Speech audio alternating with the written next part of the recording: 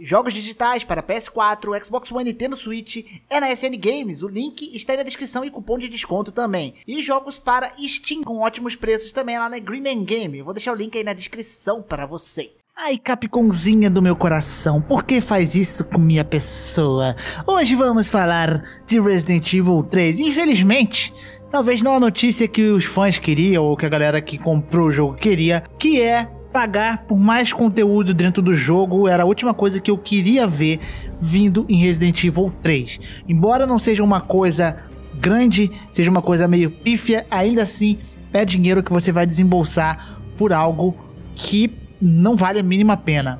Eu vou falar aqui hoje dessa tal de DLC ou conteúdo extra aí que você consegue agora comprando, que está planejado para vir aí em maio pela Capcom no Resident Evil 3 Remake. Antes de a gente começar o vídeo, só quero pedir pra vocês deixar seu like, se inscrever no canal. Se inscreve aí, estamos quase chegando a 200k, mano. Eu tô passando mal já, tá quase lá. Tô suando horrores, velho. E não se esqueça de me seguir nas redes sociais, no Instagram, principalmente onde eu jogo ali chaves de jogos para você resgatar. E é isso, acho que é isso o recado. Acabou, né, produção? Acabou. Então vamos falar aqui da Capcom com Resident Evil 3. Cara, a Capcom é uma empresa que vinha mostrando muito um bom serviço no ano passado ali é, é uma empresa que já teve sua fase meio que dark, eu gosto de chamar, que é aquela a fase EA, né? A fase que as empresas fazem uma merdinha aqui, uma merdinha acolá. A Capcom teve essas fases bem bizarras, trazendo coisas como conteúdo que já estava dentro do jogo e você tinha que pagar para liberar, por exemplo, só que já tinha saído no lançamento. Cheio de truqueirinha, cheio de fanfarrosinha escrota pra caramba. E agora parece que ela tá dando uma descida na ladeira de novo, velho. Qual foi? E eu tô falando disso porque a Capcom agora vai começar a vender skin. É, vai ter duas skins aí que você vai poder comprar pelo preço de 16 reais a partir de maio. Ai, meu amigo do céu. Que tristeza. Pois é, né? Pra quem aí tá meio que no meio do mato, eu dei minha opinião aqui sobre Resident Evil 3. Eu vou até fazer um resumo aqui se você quiser pular direto eu falando sobre essas, essas DLC, essas skins, pule pros minutos que vai aparecer na tela. Mas, em suma, o Resident Evil 3 aí, para quem não jogou, é um jogo que ele não é um jogo ruim, tá? É longe disso.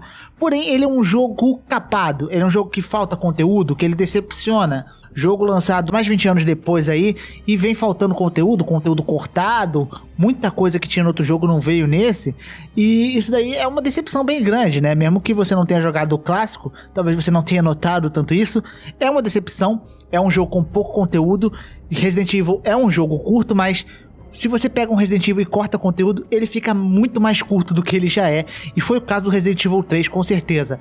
É um jogo curtíssimo, é um jogo que falta conteúdo, mas não é um jogo em geral ruim, as suas mecânicas são boas, a sua gameplay é boa, gostosa, mas tem muitos erros também. E é aquilo que eu falei, o resumo do Resident Evil é: é um jogo que vale a pena jogar, mas não vale a pena pelo preço que ele tá, pelo preço cheio. Então é um jogo que você vai esperar uma promoção boa aí, que ele chegue pelo menos na faixa dos cento e poucos reais aí, para você pegar, que talvez valha a pena. E muita gente ficava falando aí que a Capcom lançaria DLC com esses conteúdos cortados ali para cobrar e tal. Eu acho que não vai chegar neste nível, mas ela tá fazendo uma coisa meio errada que eu acho que pode virar uma tendência talvez, que é vender roupinha no jogo. É, o Resident Evil 3 Remake, ele é um jogo pago, mas ele não é um jogo online. O jogo online que tem, que vem junto com ele, é o Resident Evil Resistance.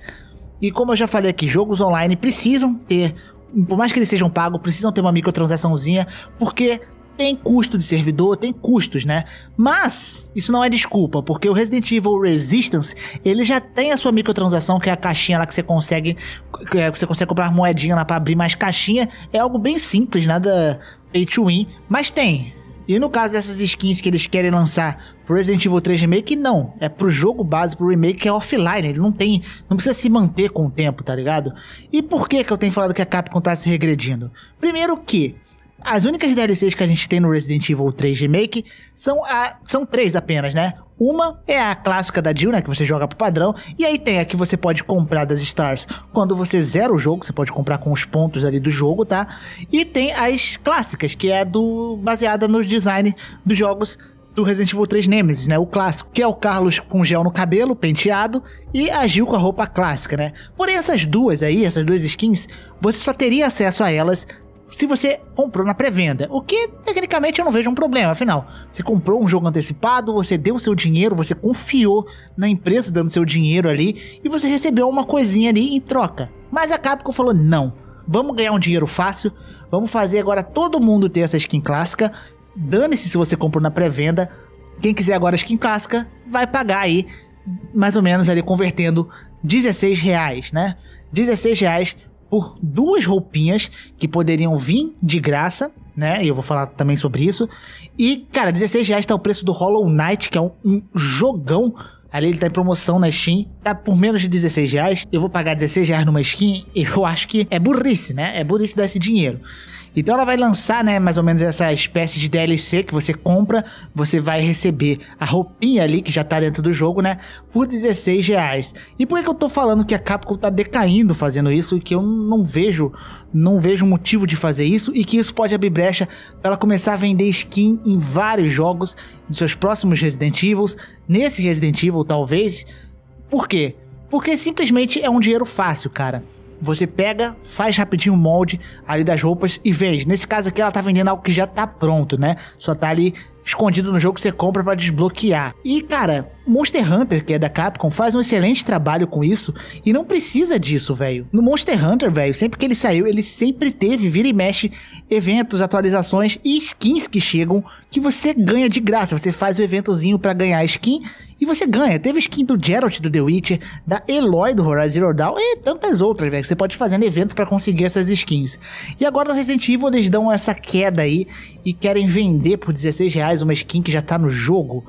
É, e é meio, meio, meio bosta isso. E eu falei aqui também no título que isso já tá no PC há muito tempo, né? E, cara, de graça. Por quê? Os caras que fazem mod pegam na primeira semana de lançamento, praticamente, os caras, às vezes um cara só, pega e faz uma skin pro jogo.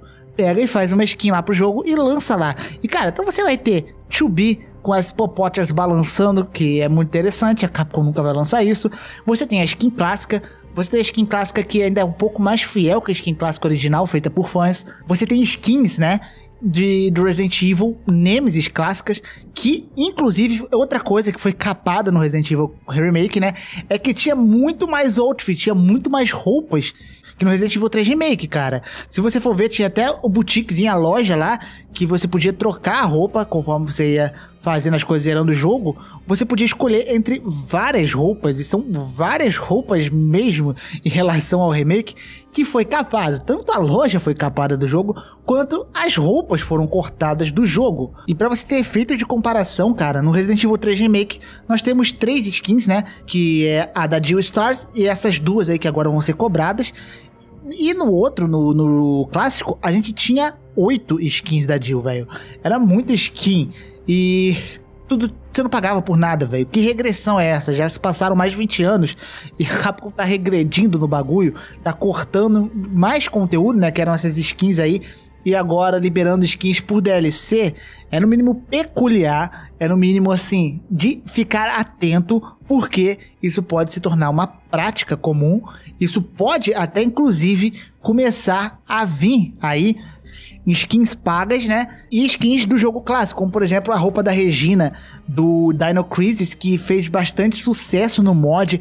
Eu vi muita notícia sobre isso, falando desse mod que principalmente mudava a skin do personagem para Regina de Dino Crisis e essa era uma skin que tinha no clássico e será, cara, que eles estão vendo esse sucesso, eles vão começar a querer cobrar e lançar essas skins clássicas no remake? Isso daí eu acho muito muito torto, velho, muito errado isso.